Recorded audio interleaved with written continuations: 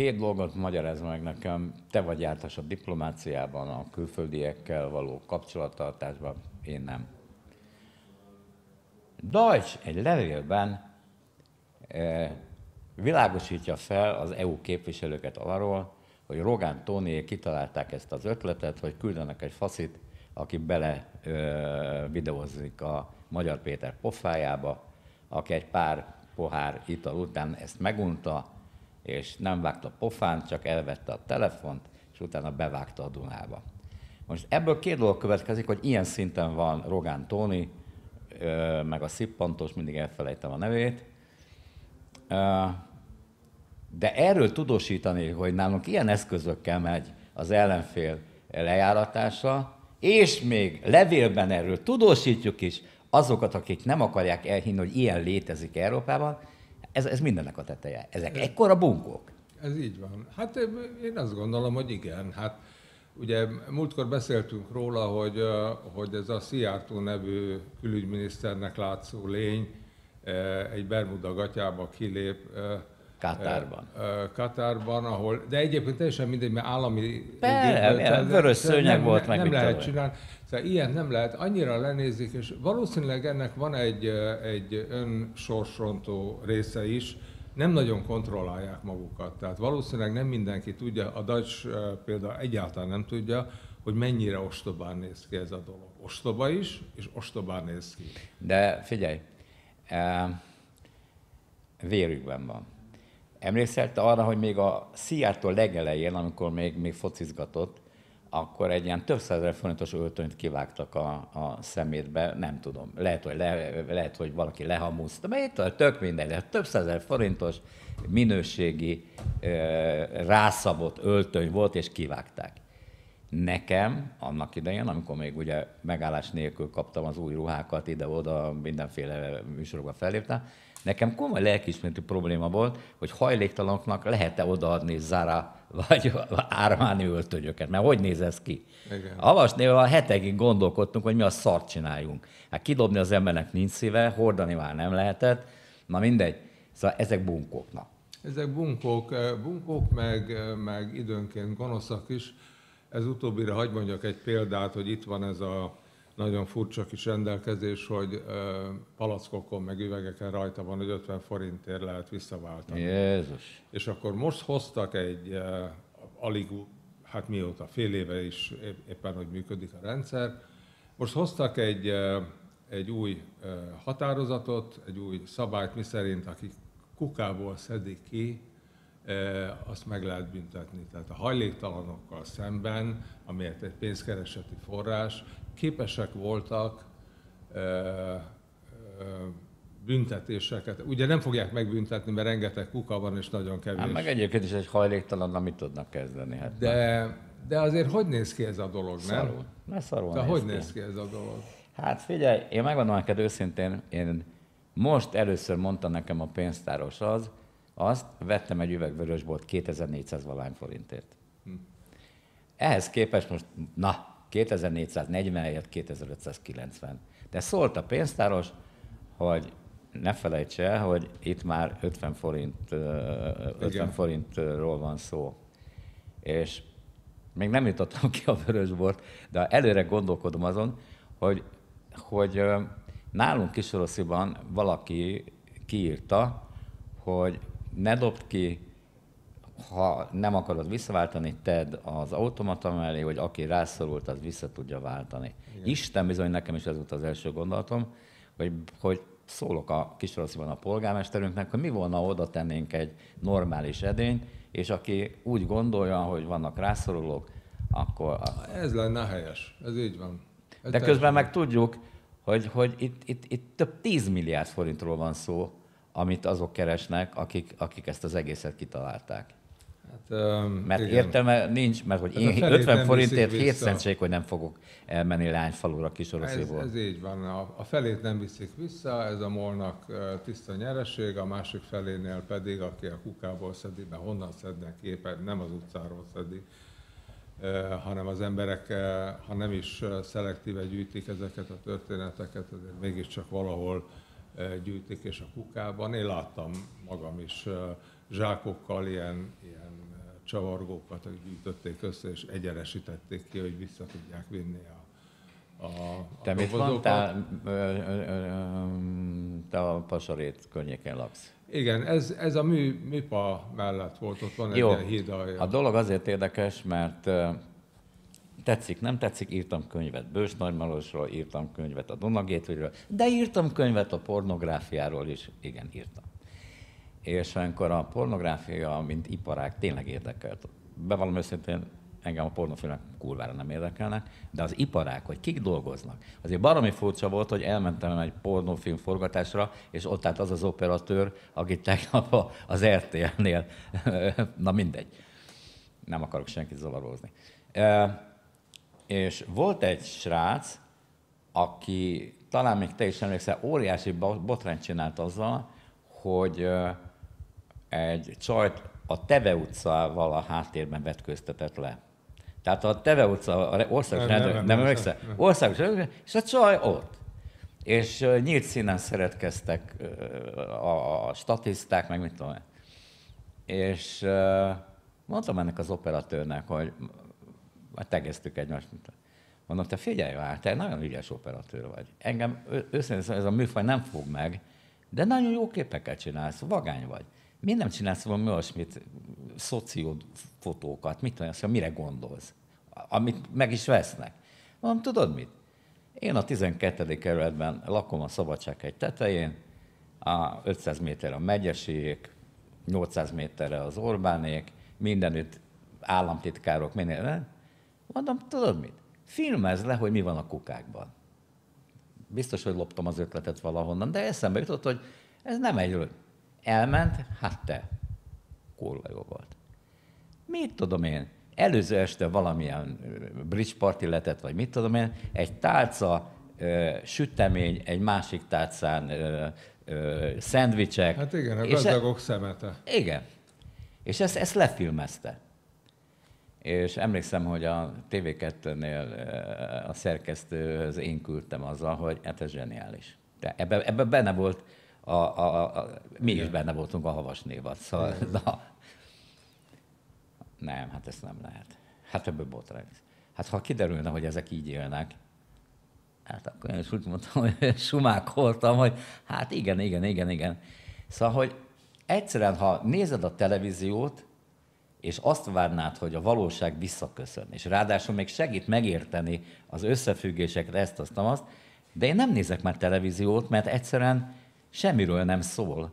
Semmiről nem szól. Hát a kuka az egy, az, az nagyon jó. Egyébként az egy metafora egyébként. A, a felméréseknél, már ilyen tudományos célú felméréseknél az egyik fontos eszköz a szemetek között való kutatás, és nézni, hogy mik a szokások, milyen maradék, milyen anyagok vannak e félék, de ha a 12. kerületet azért egy, ez nem poén, ez csak egy ilyen szomorú lábjegyzete ez a dologhoz. Szóval ott vannak a gazdag emberek, a, rengeteg államtitkár és alkirály és mindenféle, te is ott laksz, de azért azt említsük meg, hogy én a világon gazdag környéken ilyen utakat, mint ami a 12. kerületben e, elég szokásos, nem láttam. Tehát, álljon el, álljon el, abban a házban, ahol az ipari miniszter lakását én vettem meg a lányomnak, Aha emésztőgödör volt még, amikor elköltöztünk. Emésztőgödör. Ott. Tehát jött a, a szippantós, és gondoltad volna? Ez Magyarország. Ez Magyarország. Na, okay. menjünk tovább, menjünk tovább, menjünk tovább. De nem menjünk még tovább. A Magyar Péternél még egy picit távolozzunk le. Olvastam, és egy régi kolléga meg is keresett, Magyar Péter öccse egy sajtóügynökséget szervezett, jó néhány közülük valamikor az egyetemen tanítványom volt, és, és, és talán nem árulok el hadititkot, de nekem azt is mondták, hogy 2026-ig az anyagi bázisuk megvan, hogy ezt a, ezt a médiaügynökséget működtessék. Az első kérdésem az, hogy írtak arról is, hogy a Graphisoft alapítója, gyorsan mond a nevét, mert milyen hülye vagyok. Bolyár. Bolyár Gábor. E, igen, igen, így csak egy per milliómos igen, írja igen. a Magyar Nemzet pénzzel segíti őket. Igen, igen, igen. De hallottam plegykákat, hogy oligarchák is már próbálkoznak a Lehet. Péter könyve. Igen, igen, Lehet. igen. E, hogy lehet ebből a tömegből, több milliós tömegből egy választásokra potenciálisan alkalmas pártot, szervezetet létrehozni. Hát, hogy ők hogy fogják csinálni, azt Mit látjuk. találgas? Igen, igen, igen. Azt látjuk, hogy ők most mit csinálnak. Ők, ők csinálnak mindenfajta rendezvényeket. Az Árvíz egy rendezvény volt. Igen. A gyűlések rendezvény. Az, hogy mindenkinek, mindenkinek van egy kis tiszaköre, a tiszakörben különféle adományokat lehet gyűjteni, hogy ott előadásokat csinálnak, és így tovább ami nagyon hasonlít ugye a, a Fidesz-féle rendszerre.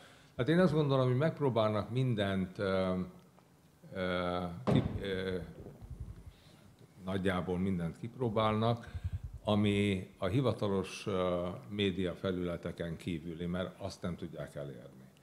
És nyilván van pénzük, mert szerintem azért titokban is, a, aki teheti és egyetért velük támogatja. Nem hiszem, hogy oltári nagy titkos támogatóik lennének. Bocs, bocs, egy-kettő... bocs, csak mondom, hogy szólj, szóljál nekem, hogy ne felejtsem el, hogy erre a finanszírozási kérdésre térjünk vissza. Tudod, Igen. miért gondolom? Okay.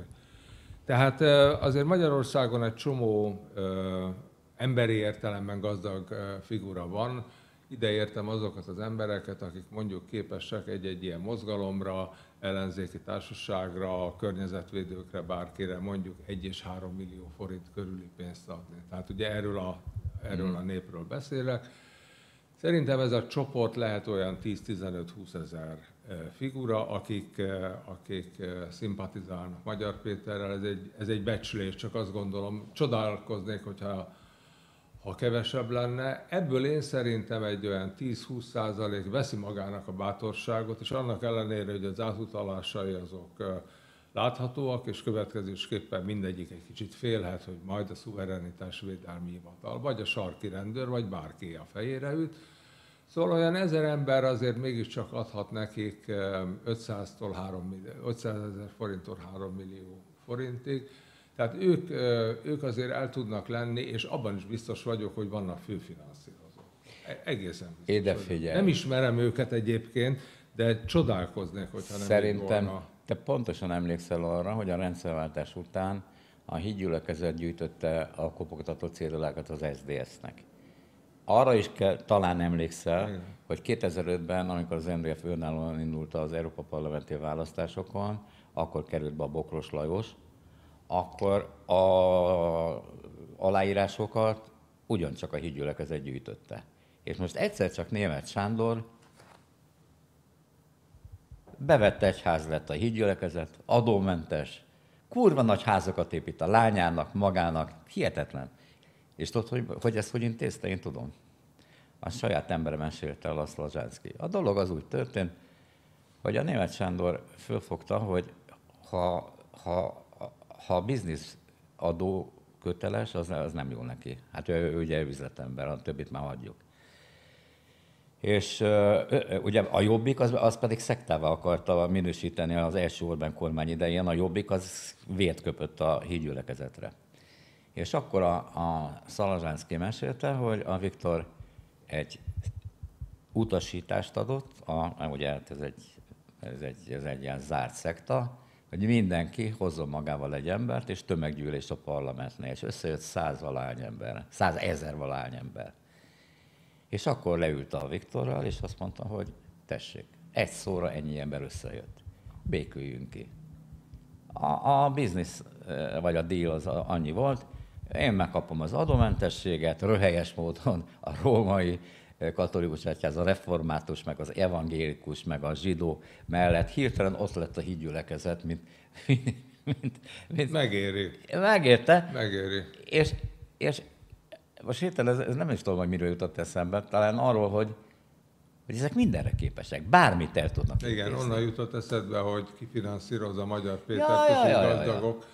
Hát igen, Hát én azért azt gondolom, hogy, hogy nem csak ilyen titkos üzleti egyházak vannak, amik egyébként eredetileg az Egyesült Államokból jöttek, és már 30-40 éve, amikor első alkalommal ott voltam, és nem tudtam aludni, mert ugye ott máshogy az idő, és akkor hajnalban fölkeltem, és akkor ott volt ez a rengeteg televíziós evangélista, akit meg lehetett új protestáns, új protestáns evangélikus Igen, de, de ott a, világosan mondták a végén, hogy, hogy Isten szeretni az jó dolog, mindenképpen kell, imádkozz reggeltől estig, amikor csak tudod, és amikor ezzel végeztél, vagy esetleg közben egy 20 dollárost mindenképpen dobjál be. Itt adót kell fizetni. Igen. Itt, itt mese Igen. nincs.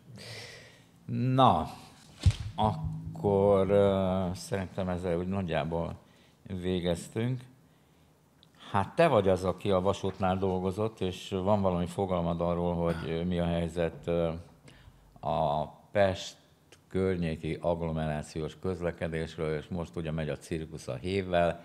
Éppen mondtam volna valakinek, az Áginak vagy a felé, nem hogy máig emlékszem, amikor az első NDK-s szerelvények bejöttek a Szentedrei hévre, mert a keresztapámhoz a Margit hittól hével kellett menni, és akkor láttam először tinédzserként. De hát én most 75 éves vagyok, szerintem ezek 50 valahány éves szerelmények, igen, és ez igen, nagy, régiek, igen, nagyon, és, és, nagyon. igen, és által ritkítják a, a, a kevés a... Ez a, a terv. Igen, igen. igen. Na mi a véleményed erről az egészről? Plusz fejed már meg azzal, hogy ez a vitézi meg ez a Lázár itt most elkezdtek Jó. nagyon durván köpködni egymásra. Rendben. Akkor, akkor először a, a, a hév, meg a, a csere, meg a ritkítás, aztán a vitézi, meg a Lázár.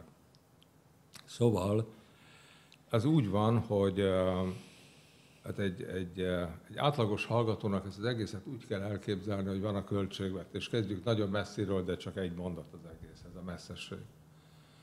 És a végén kiderül, hogy, hogy hiányzik pénz, mert hogy több bért kell fizetni, de a bevételek nem elegendők, és tovább. És akkor vannak ilyen nagy kupacok, amiből egy kicsit el lehet vonni, majd hogy visszapótoljuk. Ilyen kupac az egészségügy volt, hatalmas nagy összeg volt, a nyugdíj az kevésbé, mert az azonnal ér, érzékelhető, az oktatás volt ilyen, mindig egy kicsit el lehetett venni, és ilyen volt a vasút, ahol azt mondták, hogy, hogy lehet mindenfélét csinálni, de majd fölveszel hitelt, és így tovább.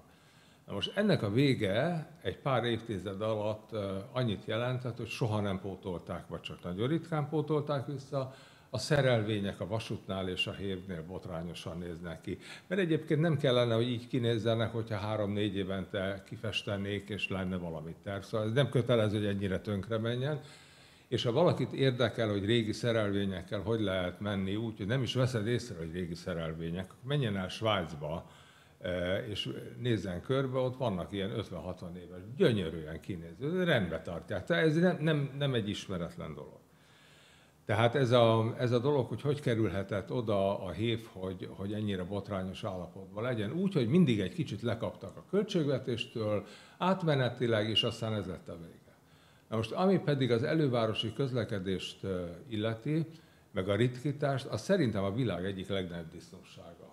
Hát amúgy egyébként értem, hogy a rossz közlekedési viszonyok miatt, a, az injekciós tűk miatt, a kosz miatt, meg a jóisten tudja mi minden miatt az emberek egy része talán nem hévvel akarna menni, de azért nagyon sokan hévvel mennek, ehhez vannak hozzászokva.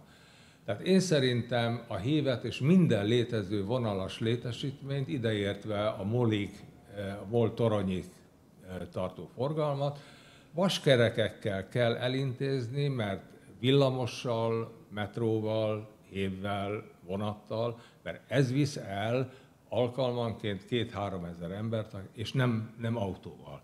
Most ilyen körülmények között, hogy túlzsúfoltak az elővárosok, ritkítani ezt a dolgot, ennek kizárólag csak költségvetési okai vannak, semmi egyéb, mert egyébként persze, hát rendbe kell tenni. Mondanék én azért egy, egy példát, hogy ez jobban érthető legyen. A magyar vasúti szabályozás, ami egy elképesztő dolog, szóval ez olyan, mint az ausztrál állat, tehát ilyen nincs egyébként, mint a kacsacsőrű emlés. Szóval oda kell menni, meg kell nézni, mert ilyen a világon. Szóval úgy, úgy tervezték annak idején, hogy kilométerre adtak pénzt. Mert hogy a vasút veszteséges volt, és akkor azt mondták, hogy ennyi meg egy kilométert fut, kilométerenként 20 fillér, vagy 100 forint, vagy nem, nem emlékszem a számra, ez volt a lényege, csak hogy kilométerenként. Na most, és akkor ez így egy ideig ment. Aztán egy idő után rádöbbentek arra, hogy ha csökkentjük a kilométert, akkor kevesebb a költségvetési ráfordítás. És hirtelen elkezdték csökkenteni a kibocsátást, ami pontosan az ellenkezője annak, ami a közösségi közlekedésnek a dolga lenne. Tehát ott neked ki kell állni mindenfajta autókkal, embereket rá kell venni, hogy tegyék le a, a, a vagy szerelvényekkel, hogy tegyék le az autókat, viszonylag elérhető áron kell, hogy működjön a dolog, időben kell menni, takarítani kell, rendbe kell tenni, és így tovább. És nem az számít, hogy a kilométerek azok nagyjából hogy néznek ki, hanem az számít igazán, hogy minél több ember kellene. Tehát. De ezek kizárólag költségvetési dolgok voltak, így aztán a magyar ütemes menetrend alapján minden évben, amíg ott voltam, meg kellett védeni, hogy, hogy ütemes menetrend legyen, ami kifejezetten egy ilyen kilométer falú dolog, és az egy költségvetési bűn volt. Na most, ami a, a Lázárt meg a, meg a, a vitézit illeti, én ez ügyben a vitézi mellett vagyok, bár az igazság az, hogy ez egy Lázár részéről ez egy olyan fajta dolog, amit legszívesebben ő se csinálna, de most éppen azért az a kormánynak a kurzusa, hogy, hogy meg kell szorítani, mert amit látunk, az nem a hívek állapotáról, hanem a költségvetés állapotáról. Ennyire szarban vagyunk? Igen. Igen, hát ilyen előfordul. Tényleg, hogyha nem lenne, nem lett volna ez az egymilliárdos kínai hitel, akkor nem tudnának... Á, nem, nem. Az a kínai az hitel... egy enyhe túlzás. Nem, nem, nem. Azért arról nincsen szó, meg nem is fogunk tönkre menni. A kínai hitel az egyike a, a nagy csodáknak. Egyébként a Fidesz mindig is imádta e, ezeket az innen egy milliárd, onnan egy milliárd. Ez, ez, e, a kínai hitelnek a legnagyobb problémája az, hogy a kínaiak nem csak hiteleznek, hanem kamatot kérnek, és hogyha nagyon sok van, akkor egyéb dolgokat is kérnek. Tehát ahol nagyon sok kínai gazdaság erő van, onnan a kínaiakat senki az ég egy világon nem fogja kirakni. Tehát olyan nincsen hogy csak így idejönnek, és akkor. Tehát ők egy, egy, egy terjeszkedő társaság, nagyon kemény üzleti és nagyon kevés lelki felületekkel. Na, majdnem lókra futottam, de az előző vendég egy evangélikus lelkész volt, majd vasárnap lesz vele egy interjú. Ő 15 interjút készített olyan az evangélikus egyház vezetői közül néhányal, de alapvetően az egykor ügynöknek beszervezett lelkészek és, és felsővezetők hozzátartozóival gyerekek, sőt még három unoka is, akik, akiket nem ő világosított fel arról, hogy a papa vagy a nagypapa beszervezett ügynök volt. Tudtak róla, és most elmondták, hogy hogy, hogy élték meg, és a stb. Nagyon érdekes volt. Na most az ő könyvében olvastam egy Horváth József nevű egykori 3 per 3-as, én is így csináltam, hm? Arról, táj, arról táj, 89-ben arról tájékoztatta a kollégákat, hogy a 3 per 3-as valóban azzal foglalkozott, hogy szétzilálja, összekusszálja az egyházak működését, szervezze be, akit tud, de ez a helyzet megváltozott, most már azokat kell megvédeni, akiket annak idején beszerveztek, stb. Majdnem lukra futottam, ugyanis Horváth József 3 per 3-as, nem az a Horváth József 3 per 3-as, aki most a, ez is, a Szuverenitás Védelmi Hivatal Kutató Intézetének a vezetője. Ez a 11-ben született, vagy de 31-ben, nem akarok Nem 11-ben az egészen biztos. Ne, persze, hogy nem. Igen. Igen, igen, hanem ez egy ifjú Horváth József, aki egy fiatal kezdő volt a, a, abban az időben a 3 per 3-asnál. De viszont ez a Horváth József, ez valóban 3 per 3-as főnök volt, aki most a kutatóintézetben kérlek szépen 2 millió 406 ezer forint 15, 2000, 2 millió 406 ezer 15 forint per hó fizetést kap, 400 ezer forint per év ruhapénzt, 210.240 forint szépkártya juttatást, és munkávási támogatásként 30 forintot és kutat. A volt 3 per 3-as főnök. Megbecsülik, megbecsülik. Na most én nagyon komolyan kérdezem tőled azt, és most tényleg nem akarok ironizálni. Most napirendre került, hogy az MBH, tehát a, a Lőrincféle hitelintézet valamilyen majdnem egy millió, egy millió eurós támogatást adott a, a macedón Igen. kisebbséget képviselő Előtte azt hiszem két, két millió eurót kaptak a melónék, a Giorgio Meloni. Szerintem többet kaptak, és a Löpen is kapott egy nagyobb támogatást. Igen, igen, igen. igen, igen. Ez hogyan össze ezzel az egész szuverenitás védelmi bóckodással? Hát szóval a magyar kormány láthatóan a barátait finanszírozza, ez, ez volt ilyen. Az ő barátai a szélsőjobbnál találhatók, vagy, vagy nagyjából, és azért finanszírozza, mert mások nem adnának hitelt. Tehát ugye ez is elég feltűnő volt, mert hogy... Hát a, a spanyol minden... Vox az így ki lett rúgva minden spanyol banktól. Hát persze, persze, mert, mert ennek nagyon sokfajta oka van. Tehát emiatt aztán teljesen jogos az a feltételezés, hogy a magyar kormány beavatkozik ezekkel a finanszírozásokkal, azzal, hogy az egyébként nem nagyon bankok által nem nagyon szeretett szélsőjobb oldalt finanszírozza.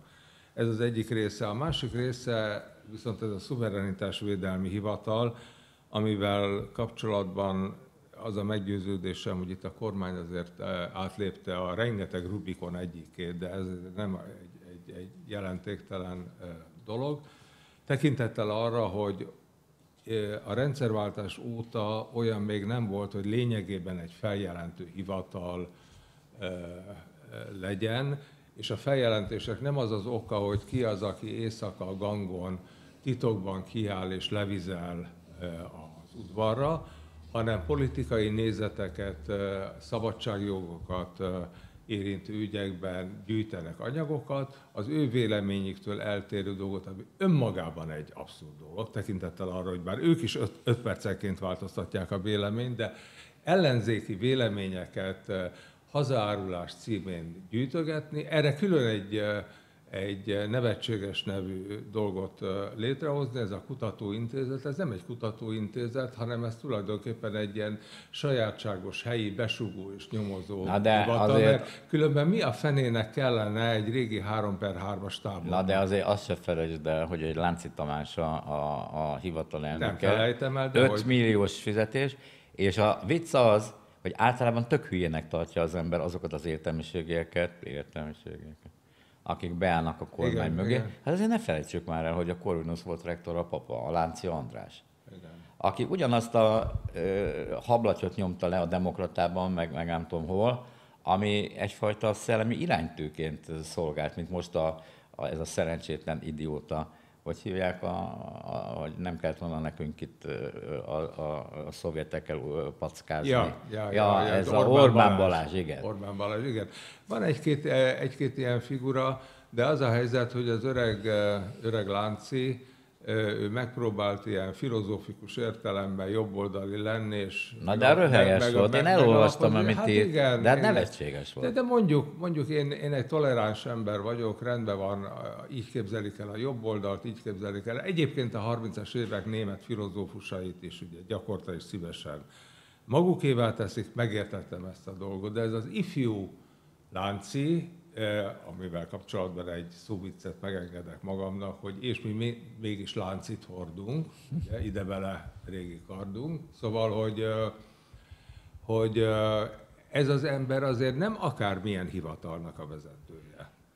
Ez egy egyelőre hatalom nélküli besúgó hivatalnak Ám a vezető. De Ám és ez elfogadhatatlan. A helyzet megköveteli, majd kap jogosítványokat. Hát igen, igen. Hát ugye a helyzet megköveteli, nagyon sok minden dolog tud történni, majd meglátjuk, hogy hogy van. Orbán egyik innovációja az, hogy engedi az ellenzéket beszélni, csak éppen a hallgatóság száma rettenetesen kicsi. Na, nagyon kevés az időnk, és próbálj néhány mondatban Igen. reagálni. Magyar nemzet. Churchill kupet, kötőjel, eladta Kelet-Közép-Európát a szovjeteknek. Churchill sem ment, ez már szó, ukrán-orosz háborúra. Igen, igen. igen. Churchill sem ment emberségét a szomszédba.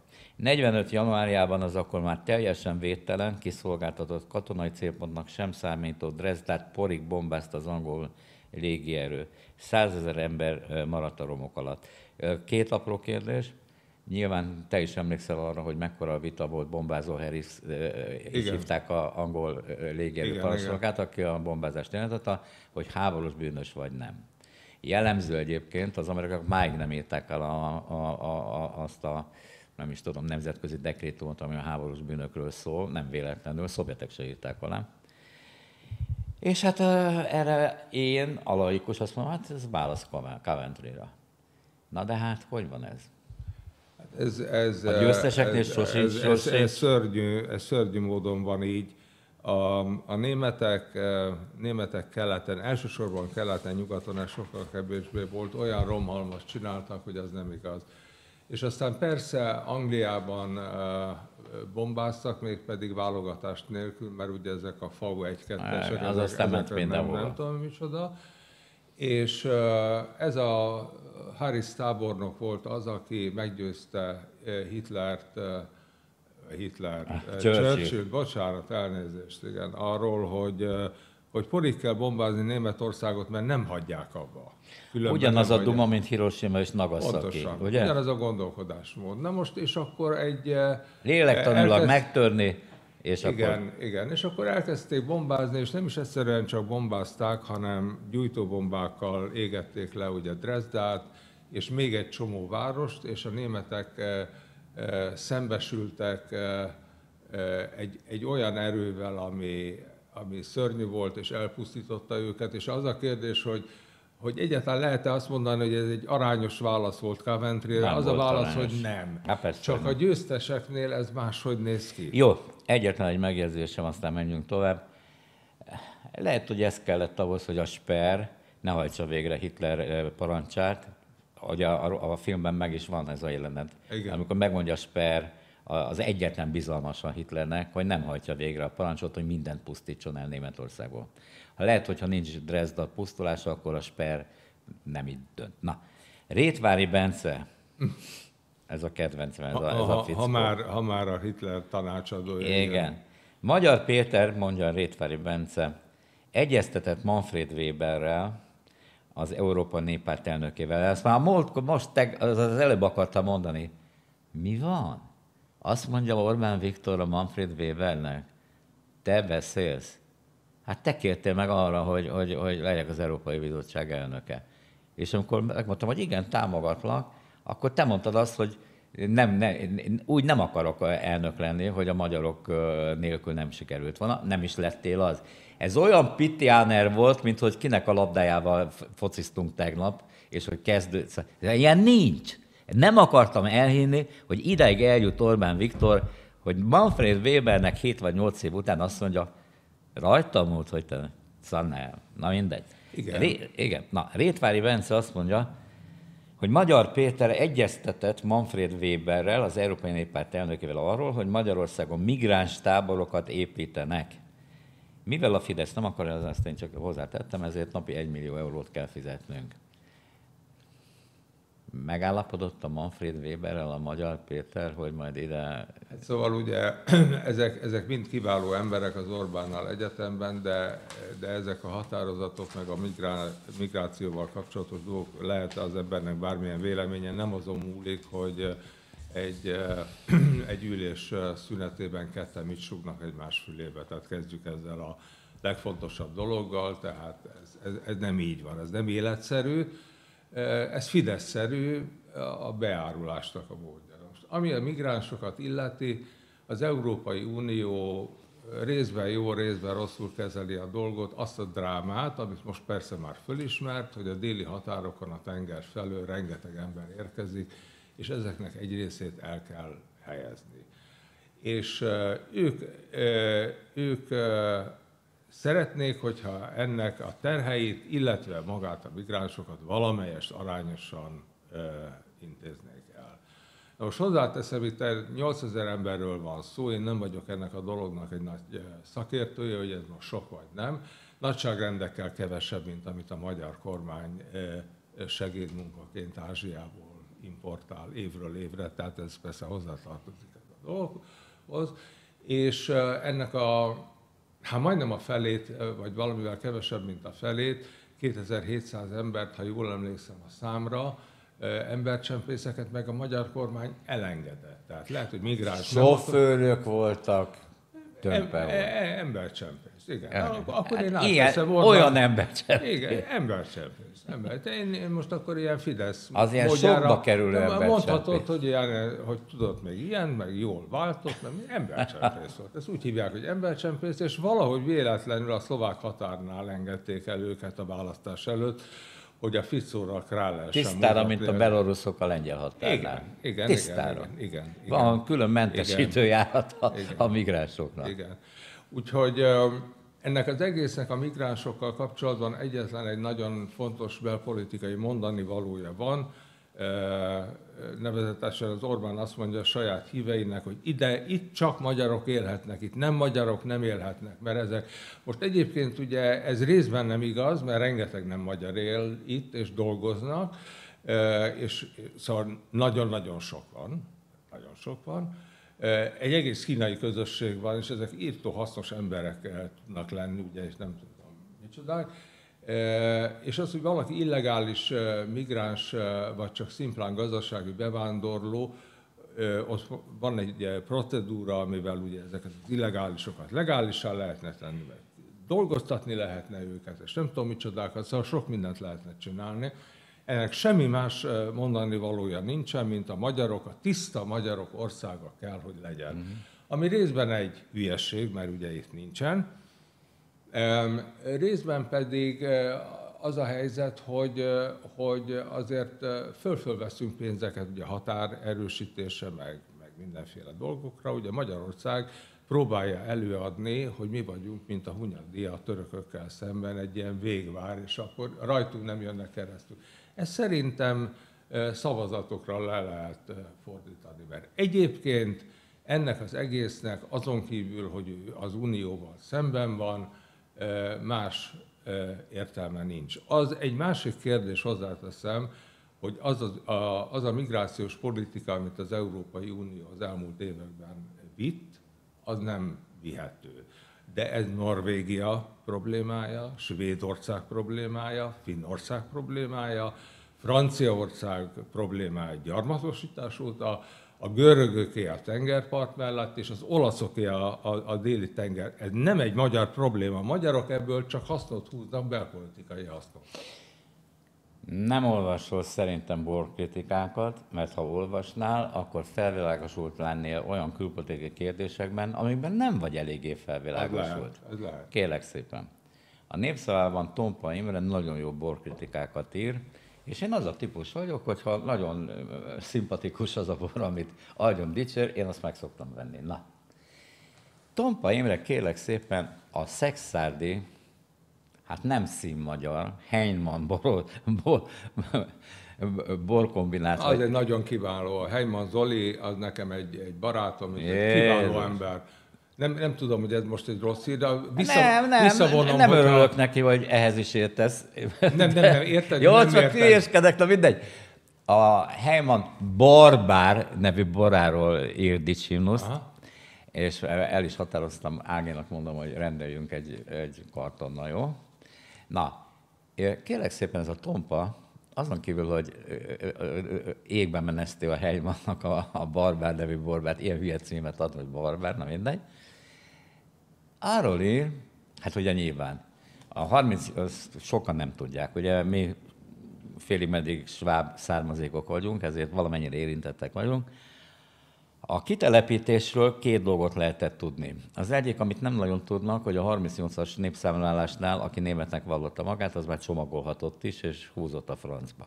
Az én családom magyarnak vallotta magát, bár németül beszéltek a nagymuterék, úgyhogy mi, mi ebből a szórásból kimaradtunk. Igen. A másik, ami, ami nagyon érdekes, az az, és nem ezt akartam mondani, jaj, na mindegy. Nekem volt, villányban volt szőlőm, és ennyi volt a legjobb bor, borozó. Tehát nem borászat, borozó. Kélek szépen megvettem a házat, és kiderült, hogy a kitelepített svábok mind ott laknak az egykori házok mögött, amit az erdélyi magyar menekültek, akiket... Igen, mert dél, délvidékre vitték őket, jöttek a, a Jugoszláv, akkor beköltöztették őket a kitelepített svábok házába, azok meg hazaszöktek, és a, a igen, pincébe, igen, igen, igen, és aztán előbb-utóbb mindent visszaszereztek. Így van, ez történt. Igen, na most, hogy ezt az egész, az egész Heilmann ügyet, hogy miért hoztam szóba, hát nyilván azért, hogy... Hát, hogy reklámot csináljunk az én barátomnak. Mondjuk ez, Jó, ez, egy, ez cím, egy nemes cél. A címet majd elmondja, elmondja a, a, most mi csak barátkozunk a tömpe úr, hogy hova kérem a barbártól azt a bizonyos... Rendben. Na mindegy.